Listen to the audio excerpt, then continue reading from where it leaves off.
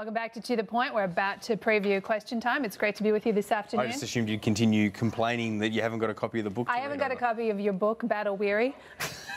Maybe it's because you keep mocking it that I don't send you a copy. I mean, honestly. Honestly, all right.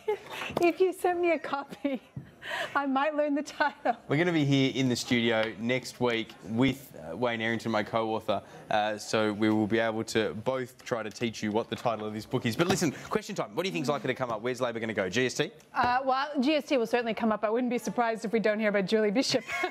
Well, there'll certainly be some interjections you are, you that. are certainly setting the agenda with this Oh, book yeah. already, Battleships. You, you, you, you supposed like, take yourself more seriously. This is- I mean, I might be a bit of a jokester, but you're meant to be an ex-premier. Oh, ah, anyway, all right. I, well, I feel I feel battle weary listening about this You book feel battle every weary? single day. Viewer, Well, we've barely he has started, by the sitting- way. He has been sending me extracts to read. He's been texting. A minute ago, you were complaining that you haven't got a copy of the book. Well, if I, I, I feel So hang like on. I've already so we- got a full copy. Now, now you do sound like a former Labor politician. is the issue that you're not getting to look at the book, or is it the issue that you're looking at the book too much? I, I think it would be nice to have the book in its totality. well, I haven't got a copy of the book. Well, what kind of author are you? Well, I've got an electronic copy, but I haven't got a hard copy. It's I, I being have printed as email. we I speak. have email. You often use it. Yeah, yeah. I don't Okay, know. You all probably right. post it on Twitter and you know, completely destroy Yeah, my. 140 characters. at No, you can link to things, can't you? Yeah, I've never I- done I, it. Um, All right, let's get back to Anyway, question time. let's get back to It- question It's on time, in four minutes, as Panic has just told us. four How do you like having a director whose name is Panic? I mean, is there any capacity to do a show properly when you've got in your ear the whole time, Panic, what's happening? You're like, anyway, all right, let's get back to the story. Um, Okay, well- GST will come up, clearly. oh, clearly the GST will come up. Don't panic, all right? Keep going. you Just go. You lost it. All right.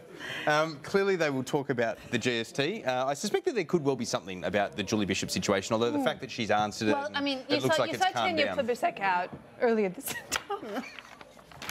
I did this to David Speers last week. All right, I'm gonna I'm gonna talk is- about it. this is now I'm getting mocked in my ear as well. I mean, there's just no support here at Sky News. I mean, you're all on your own. I've got a host who can't hold herself together. I've got a director attacking me in my ear. How long till question time? I mean, can we take some of these 90 second bores that happen in the lead up to it? Let's not do that. Let's not do that. let's not- Let's not do that. People will change the channel. As I said, as I said, we saw Tanya Plibersek out this morning talking about the um, the Julie Bishop. She said she was in it up to. I'm not even making. I am trying to make a serious. All right, you're making me back- lose it now as well. Can we bring back David all jokes Flint? aside, all jokes aside, they will they will go after the GST. There's no doubt about that. Uh, the government will continue. This this won't make you laugh. They'll continue their constituent questions. Oh, actually, you know, you will, they will continue their constituency questions. I want to hear another question of Paul Fletcher. He is the man of the week. He's Quite- just getting question after question think- after question. Is that because his portfolio lends itself to these A- constituent Absolutely, questions? it does. And clearly, Paul Fletcher is the most inaccessible person in the parliament because his, his fellow colleagues don't feel they can just It's walk up and ask him a question. They've got to wait till question time. I think Kristina put it to Paul Keneally's view, I think her view is that this was like some sort of conspiracy by Paul Fletcher to introduce constituent Uh, questions. You know, I don't trust that Paul Fletcher. I mean, Did you see the one yesterday? David Yeah. Mm. Speers and I gave it our wooden spoon. Sarah Henderson tweeted her question before she delivered it she as delivered a it. question without notice. wow. That's Theatre of the absurd. That It is. It's getting ridiculous. So uh, our advice to the government, in as much as they might take our advice, is, what did you call it? Junk this crap. I mean, this is. They're not listening now. They're making their way to question time. They're making their way to literally on in 90 time. seconds. They are indeed. So. Um, what else do you think Labor well, might go I mean, after? Well, I don't know about Social Labor, services? but you can expect you're going to hear. Oh, of course, the snakes and ladders, winners and losers argument will continue. You can expect that you're going to hear from the government, of course, a lot of crowing about this unemployment figure. I mean, what do you make of that? How, how do you explain that type of dramatic? Is this an ABS data screw up again? I mean, do we need to wait to next month to you- make you sure? can't even acknowledge some good actually- news for the Well, I don't know. The, the last time the ABS delivered this type of fabulous news on the unemployment rate, the next month they, they crawled it, they just clawed it right back. Well, down to 5.9. That, I mean, that is good news. I, I, I mm. genuinely think that there is more business confidence. We saw that in some of the figures released it's, the it's, other it's day. coming off now, though. It is. It's coming off. the latest is. In, in the government will definitely. You're right, though.